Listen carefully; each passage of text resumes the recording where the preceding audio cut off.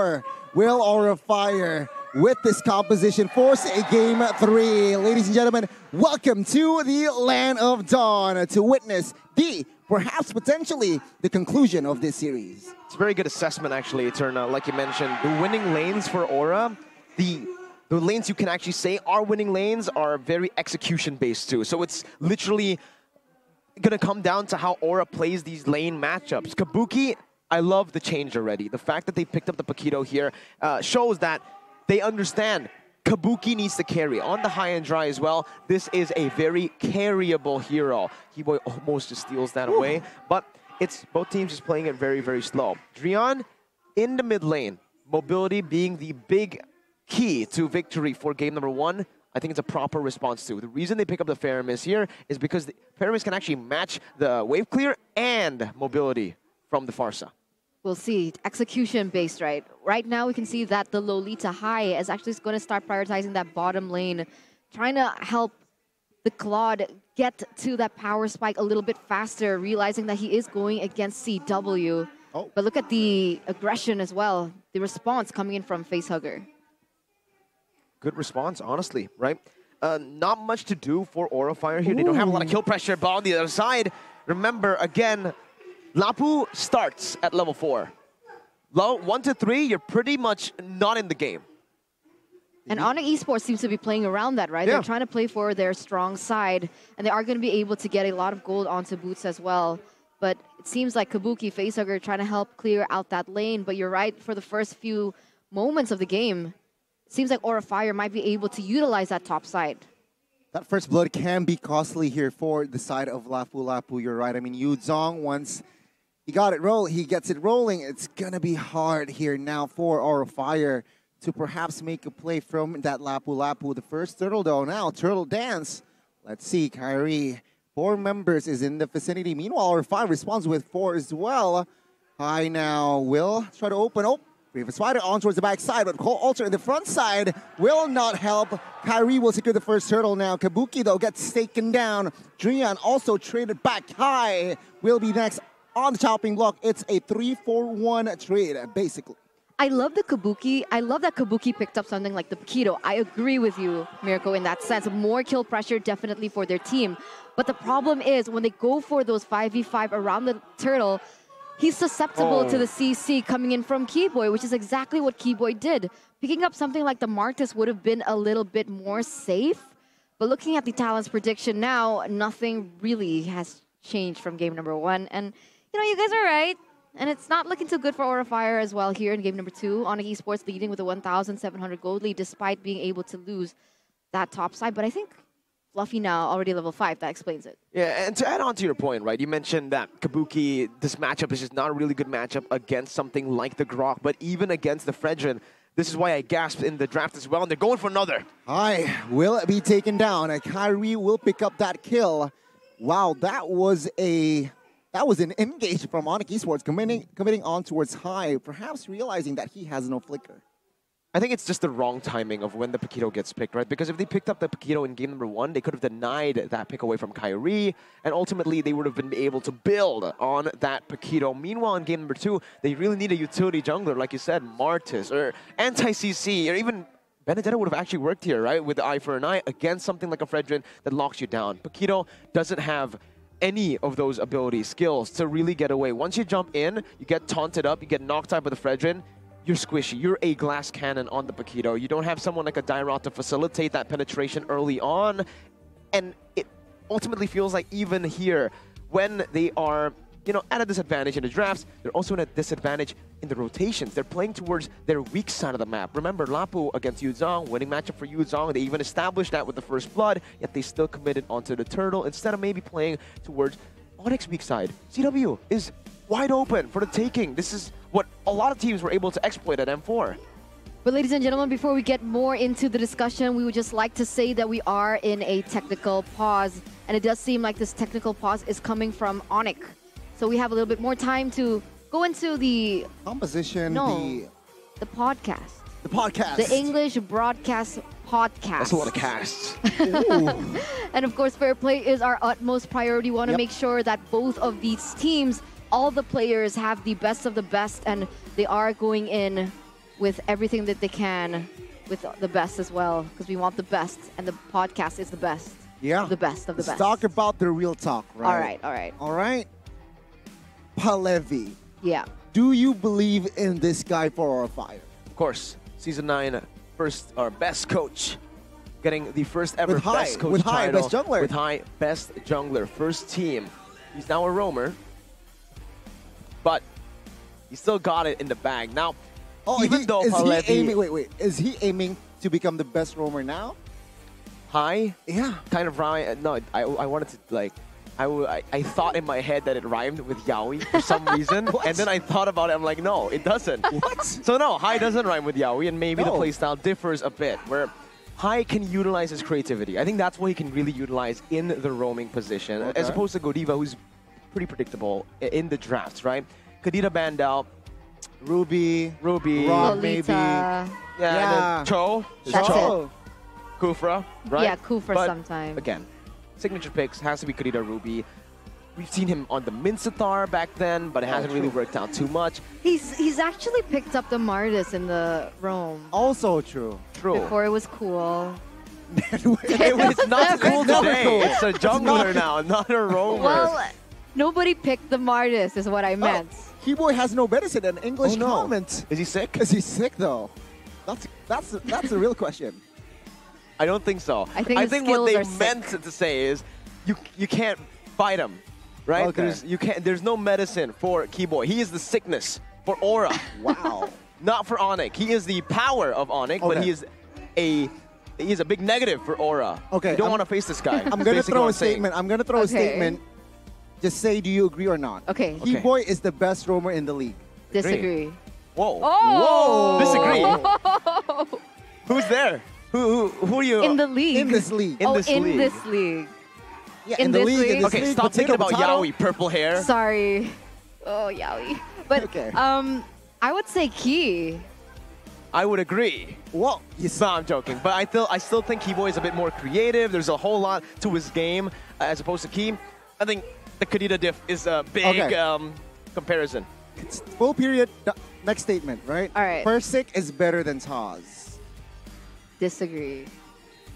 Now. Massive disagree. Oh, Ooh. yeah, right? Yeah, okay, okay. I'm just throwing out statements. All right? I'm just throwing out statements. Aura Fire will win. Agree, disagree.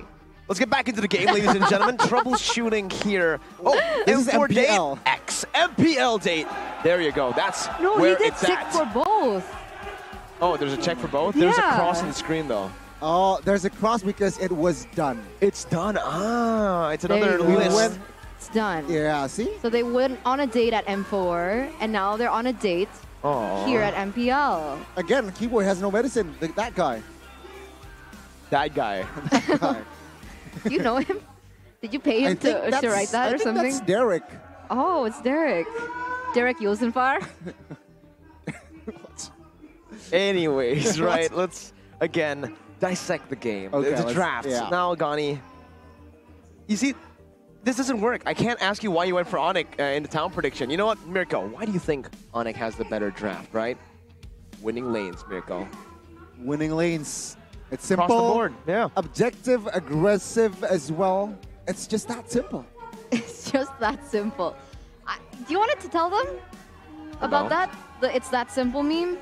Oh, it's that simple. Ladies and gentlemen, if you guys don't know, There the man, go. the myth, the legend himself, Adi, Adi. was questioned by the media right after his game against Blacklist International. Why didn't you ban the Estes? When as was long as you play objectively, it's that simple. It's that simple. So n- now everyone uses It's That Simple, but it seems like we are going straight back into Oh. the game, but Fluffy already going in. Kairi now being the recipient of a lot of damage. Still surviving. Julian covering from the backside with that feather airstrike. Turtle now is up high. Needs to recall that's a man advantage from Onic. Boots with that black dragon form will able to zone away Lapu Lapu. So another clean objective take from the side of the yellow porcupines. not much to do with your aura in that particular situation, right? There's just so much thrown at you. You tried your best to burst Kairi down, but he's able to utilize his passive on these neutral objectives. So he gets back to like almost full HP and takes it for basically nothing because he is also in the lead, one level against Kabuki. And this is something we just really need to highlight, right? CW in the winning lane, or the losing lane, actually, is always winning. He's a very good weak side player, and Onic can utilize it as a strong side with the roam. But their airstrike hasn't popped. That's information high now. Trying to jump in. Chait, though, will be able to clear, but now looking for an engage, perhaps. Facehugger is there. No commitments from both teams. But in the sense, even though you mentioned that maybe CW is in a losing lane, it doesn't appear that CW. No, it doesn't appear that Chayat has the same amount of flexibility when it comes to dishing out the damage because he has to go in for that full going in with the Blazing Duet. And the problem is the damage take that he's receiving from Drian wow. is so much that he's barely able to dish out the damage. And if we take a look at the items here, Beatrix already with the BOD. It's super smart there. Actually, he did not finish his boots. This is something that we've seen from Kairi, and we can see CW trying to do the same thing in the gold lane, right? Not finishing up the boots, just getting the first little boot before he goes for the actual real boots. Then he buys the BOD, and he actually also picks up um, a little bit of penetration there, right? So it's a really good build, honestly, is what I'm trying to say. And with the goal lead that he has and the team has, just look at Kairi and Kabuki this is just the matchup that we were talking about. Jungle matchup very heavily favoring Kairi, and also CW using his siege potential to move up top with the Bennett now that the gold buff minions have disappeared from lane. We'll the see. next neutral objective has been secured, but yeah, I guess yeah, Onic Esports with the 4,000 gold lead now. What will they do? Turtle Dance will Kabuki commit on towards this one. Onic Esports looking for the setup Drian with the feather airstrike as well. But Kiboy will flicker away as Kairi secures the neutral objective. Cult Altar has been popped, but now Fluffy in a no man's land will try to find a kill on towards Kiboy. No way. Does not get it. As now Fluffy looks for an escape. Drian will secure the kill. Fluffy gets taken down and also high there. So two for zero trade for Onic Esports. And now they're just snowballing up until this point, right? 4,000 gold lead. Chai trying to do what Chai does best, which is not have an impact in the team fights. He just goes in for the side lane pushes. You saw the claw where he was. He was in the top. He was split pushing, right? I mean, uh, split pushing, I think not joining team fight. I think split pushing is what he not does best here fights. with the Claude. Um, he's grabbing turrets, just like you guys can grab food with the discount code 26,000 IDR, grb.to slash MPL. Scan the QR code here. As CW does the same thing ultimately, right? China was able to pick up a tier one. Now they're going for it. Aura wants to collapse on Kiboy. Oh my god, is this the right move? Oh, oh hot charge. A oh simple ultimate popped and Kiboy is saved now. The re-engage perhaps in the backside. Kabuki caught Kairi securing the kill. Boots now popping that feather, no, black dragon form just to zone the members. Another turret take top side. You can just say that was outclassed, right? And look at that high. What? Petrified to cancel high and he gets taken down. Facehugger as well. Facehugger down though, will shut down a member now. Facehugger 1v3 under the turret. CW needs to be careful. He survives that one, but it's still favoring Onic. It was already bad that Aura Fire got outplayed in a 3v1 situation where Kiboy was able to outplay that situation. It's even worse when Hai looks for an opening with the Noumenon Blast and it gets cancelled and it gets instantly traded back again by Onic Esports outclassed, man. Real-time win probability by the Samsung Galaxy S23 Series 5G even agrees 63% for Onic Esports. It's going to take a lot for Aura Fire to come back wow. again in this game. It's going to get from bad to worse, right? Because Aura Fire's composition really relies on the Cult Altar working here. And the thing is, the Cult Altar isn't really going to work. If they clump up together, it's just Onic with a massive advantage with their AoE damage and their poke. They're going for the Lord. Oh, oh. no, Kabuki. Kairi will secure the Lord though. High gets knocked up. Boots trying to zone out Kaid. Take a look at that life steal, forcing that Cult Altar. High will die in the process in the front lines. It's going to be 1-4-0 kill-wise. Again, Onic securing the Lord and the turret down below, right? Ooh. They're just sieging, capitalizing on every little mistake that Aura Fire are making. And again, it's Aura Fire going back to the default plays here. They're not really trying to make, eh, they're trying their best to look for an opening, but they're going for the default plays, which means neutral objective, contest. And Onic are able to capitalize every single time because they have a massive advantage already when it comes to the gold lead. Look at the items. It speaks for itself. Hunter Strike, Malefic Roar, uh, building to a Heptaseas now. This Beatrix is out of control. 5-0 and 1 at this point, we can see what Skylar did to Heise, I believe, or no, to Ryzel. Was it the two shot yesterday mm. on hmm. Nibiru? That's something that CW can look for now with the amount of damage and the amount of items he has this early on, 10 minutes, it's unreal for CW to have these, these many items. And the worst part is he's on a Beatrix, right? Because if the Claude was leading, then CW, if he was behind, he could pick up something like the WON, mm-hmm. which can negate that entire burst of the ultimate of the Blazing Duet. But if you're someone against, if you're against someone like CW on the Beatrix, whose shots aren't burst and she has so many options in her kit to utilize and to put damage on the opponent. You can go one for the first maybe Renner shot, but after that, it's just yeah. it's tough. It's tough.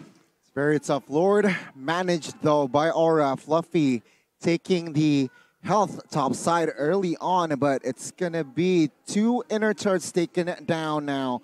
Aura Fire defending their base turrets. On it, it seems like they are still disciplined enough, not forcing any engages for now. Just setting up once again to go for the siege down below as they have taken the tier 2s in the mid lane and that top lane. Onic can just keep on doing this, again sieging with the Renner. And with the goalie that they have, they're not really at risk of Aura Fire engaging because the only way Aura Fire engages or look for... Oh no, Kabuki, he just... I think he got spotted here. Oh, Kibo's no. going to walk him down and he spots him. Kabuki all alone, conceal. There you go. Yeah, now Kabuki trying to find the escape. He does not get it. CW picking up that monster kill. Aura Fire, just one tiny mistake, tiny miss rotation, completely punished by Onic. 6,800 gold lead, guys. Onic Esports. And they're starting to push the mid and the top lane to try and clash at the same time. We'll see as Drian opens it up. Third airstrike onto its facehugger now. The Lapu trying to find a play in the backside. Chaito with that blazing duet entering the oh. zone of CW. Flickers away. Still surviving that one. Aura Fire, they have their power spikes in season like. They have to understand here that even though Onic are, have a massive advantage, 6.5k gold lead that Aura Fire can still come back. They are a team that can rely on that late game damage from Chayat, and with him opting to go for the Wind of Nature, it means that he is going to be uh, you know, he can make these risky plays happen in the back line. The reason he hasn't been joining team fights is to reach that power spike. And now he has finally gotten that power spike. It's just now up to Onic as to how they try to bait that Wind of Nature out. Because if Aurafire can utilize that, and if Tai can actually deal the damage properly into the back line, just as I say that, CW picks up a Haas Claws and Drian picks up a win in the uh, Winter Truncheon. So already an answer instantly respect already being placed here by Onic Esports, and Kairi even picked up the Athena shield to negate the damage coming in from Facehugger, but Drian looks like he's looking for a play, maybe.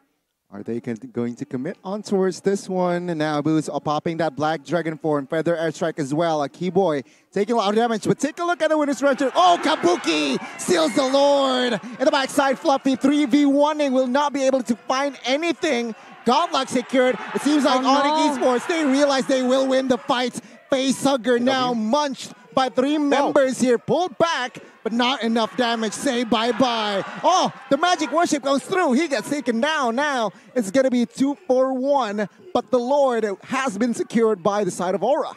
Very strange way to actually execute that team fight. They decide to go for the team fight instead of the Lord, despite having a super big goal lead that I've just been repeating over and over again. They didn't set up the waves. Instead of that, they went for the full commit.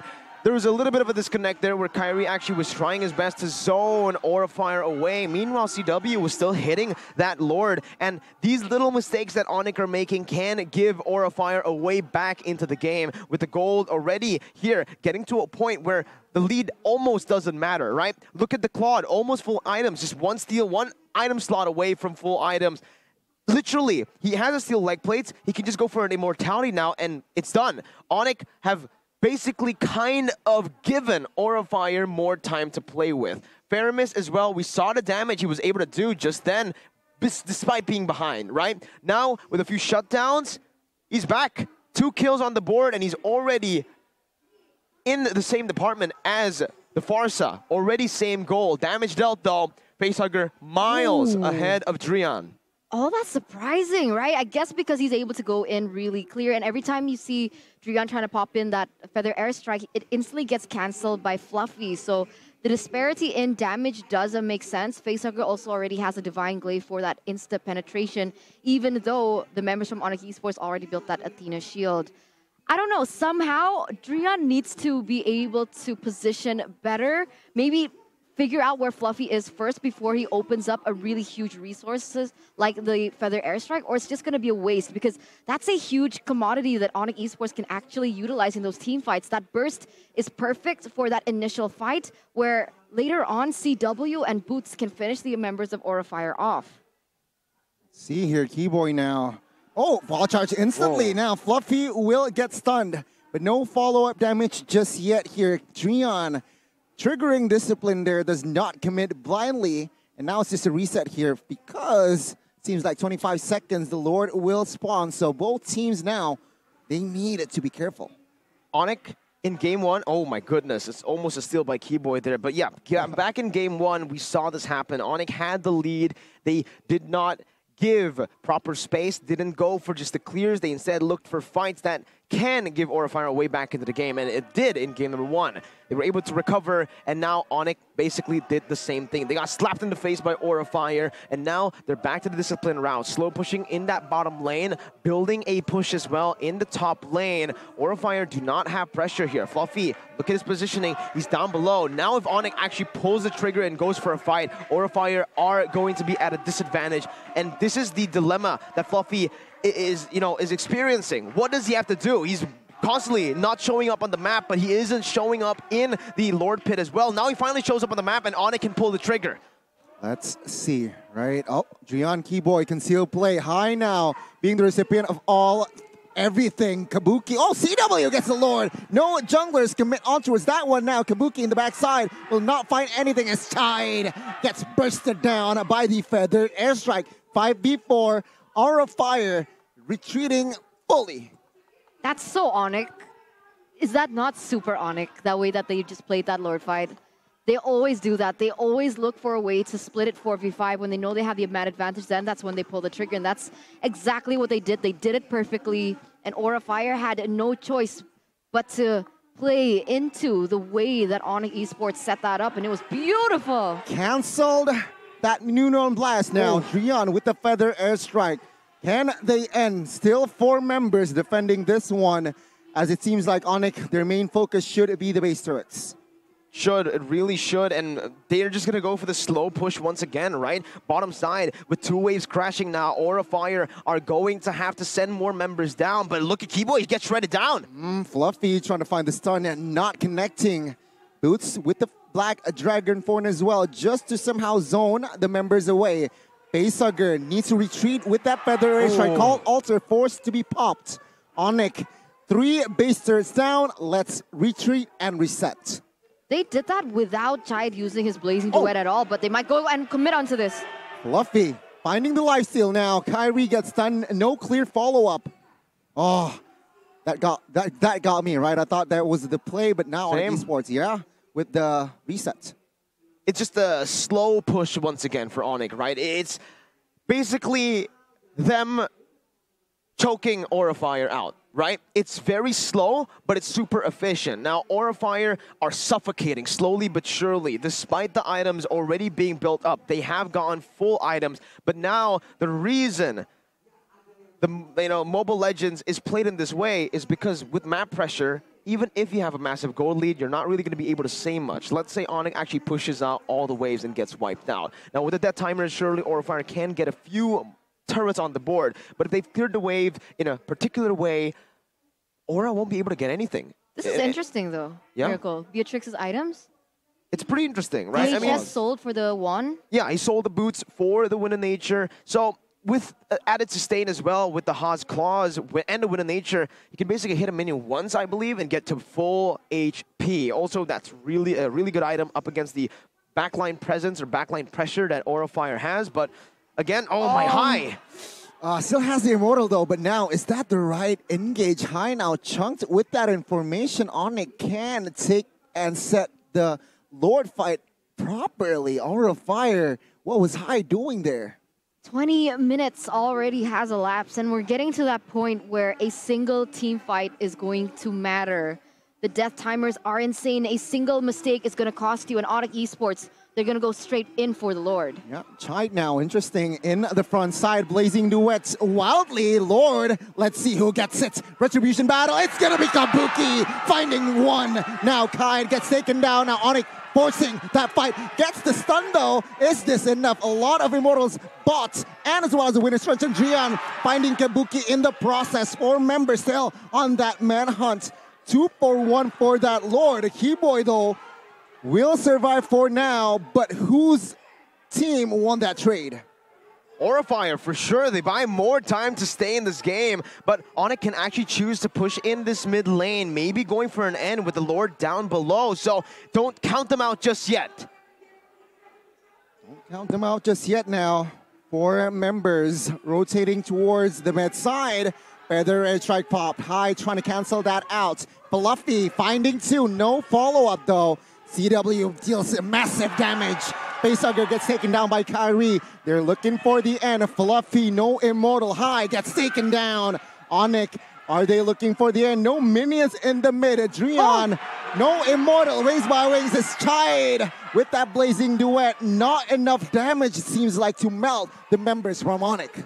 Oh, Wow. wow. I was on the edge of my seat. I would have thought Audit Esports would be able to cancel that. I mean, to end that. But now they got to think about the Lord that's marching down in the bottom side. They made a gamble, and they are going to be able to clear it as fast as possible. But man, what was that play by Chait? He was the first person to go in, the first person oh, Whoa, whoa. to get taken out. But but he got taken down, and now Onic Esports, they might want to go for this once again. Wild charge not connecting, but take a look at the backside. Kairi and Kabuki 3v1ing, say bye bye. Chai with the blazing duet. Will not find anything. It's actually Facehugger picking up a kill. Now Chai with the BMI ex- exiting that premises. CW will survive as it's just now. Onic Esports will end the game. And it seems like There's no minions. There are no minions. Still surviving Aura Fire is now still in the game. Oh, it could be delaying the inevitable, but we're gonna take that, right? The real-time win probability still in favor of Onic Esports by the Samsung Galaxy S23 Series 5G, 74%. But somehow Aura Fire is still able to stay in the game after Onic Esports have pushed three times. And you can start to see that Onic Esports, they're getting pressure to end the game as soon as possible. Crazy, crazy defense here from Aura Fire. Wow. Able to, again, go against the odds despite them being so behind. Look at the kill score 21 to 3. Look at the Yeah. gold lead. Look at everything, right? They are able to push Onic back here and there always. And Still, it's Onic with a 6,000 gold lead, but at this point of the game, the gold lead is gone. Zero. It does not matter at all. What matters is the map pressure. But with Onic playing the way they are, the map pressure doesn't really matter. Not going to go for the mini waves. They're just going to go for fights, 50-50s across the board in the Lord Pit. And that's the same tactic that Bigetron likes to use, and Bigetron usually are the ones to get the upper hand, especially when the, with this Lord take. And you can see here Aura Fire, they're going to go straight in for the Lord. But Kairi, Onic, they're going to have something to say about this. They set this up properly here. Aura Fire. Are they going to commit to this though? Let's see. Onic trying to gain more ground in that Lord dance, but no commitments. Got Lord will be reset. resetted now. Onic still with the somehow lead. Kiboy's so annoying, but look at this conceal play. Conceal play. Will they commit on towards this one? Fluffy now. Which could be the target, but again, no proper engage, so no commitment.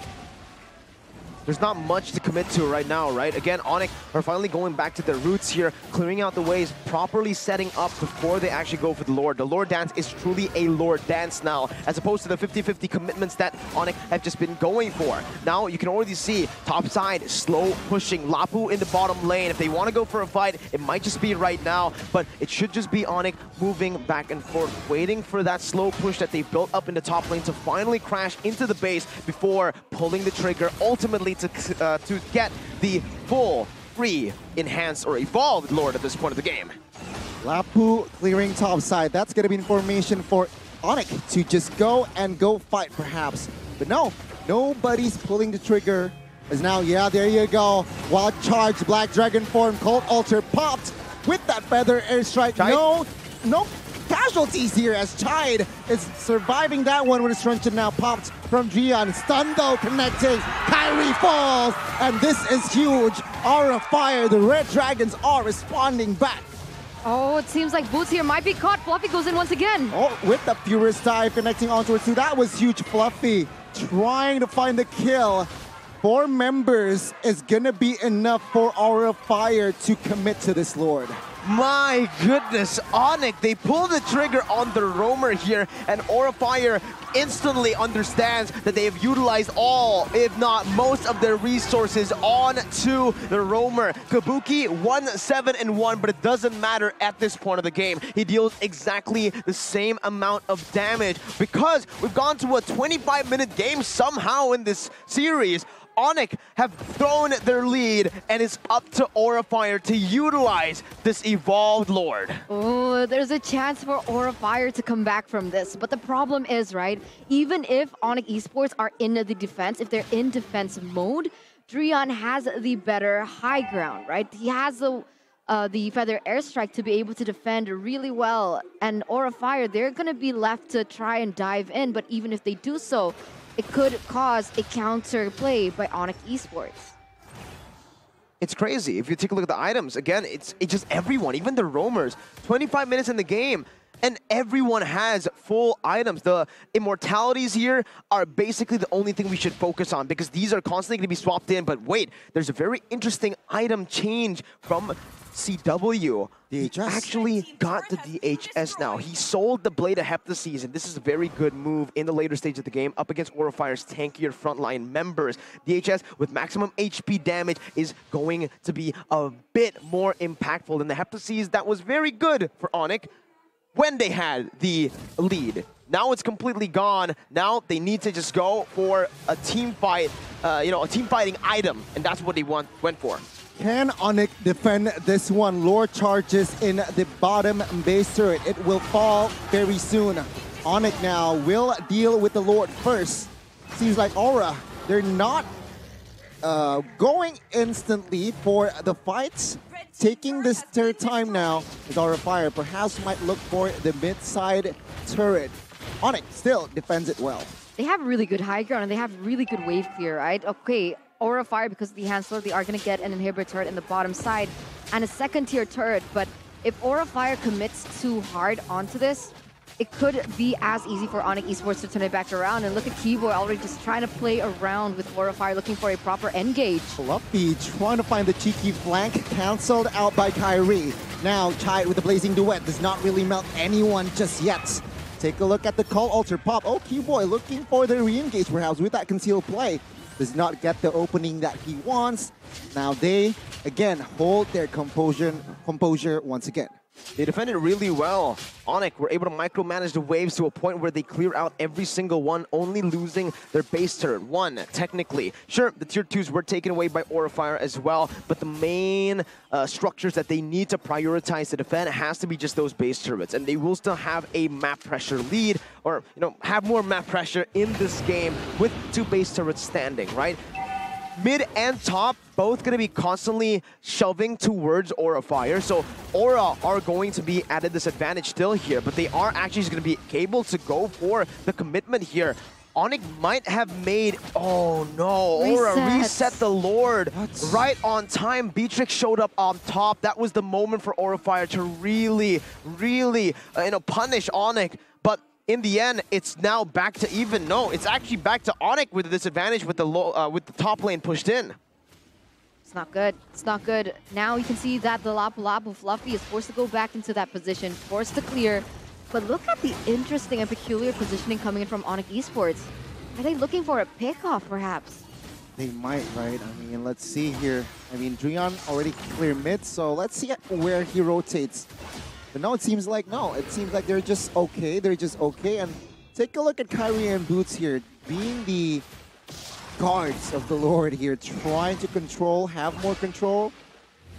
Will they commit to this? I don't know. It's just the Lord dance at this point.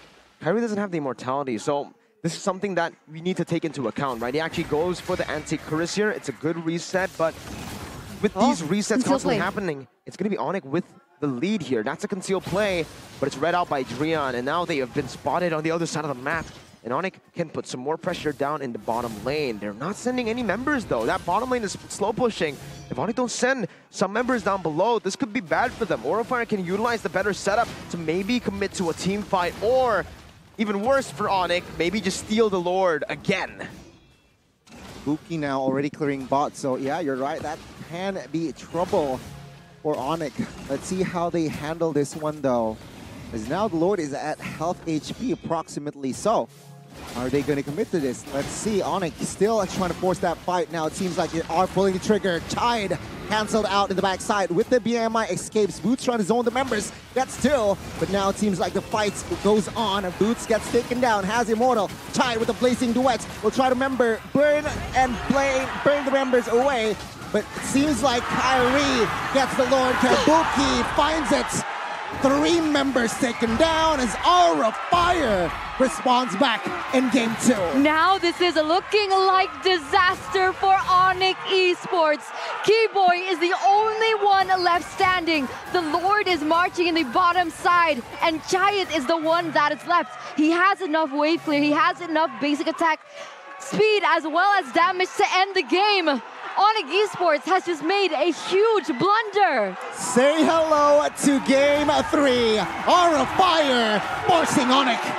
Number eight standings in as of now. Force the number one standings in the league for a game three. Ladies and gentlemen, welcome to MPL ID season 11. What a performance by Aura Fire, able to come back from 10,000 gold lead at one point, a 10,000 gold decip- uh, deficit. My goodness, Aura Fire just took these team fights and they were able to punish Onic back and forth. You can see Yeb with a massive facepalm. Wow. I feel the same way, Yeb. The, four, the first point for Aura game wise. Oh, no, no, never No, mind, it's never mind, never mind. But it's up against Oh. number one. It's Yeah. still an impressive so feat. You can see them. the Don't emotions run wild on. Pa Levy and CL mostly here as they were in tears right before that or right right after the end. But I can't help but, you know, s- state again with Yeb facepalming like that, it was Onic game to lose. They completely threw the game with these decisions that were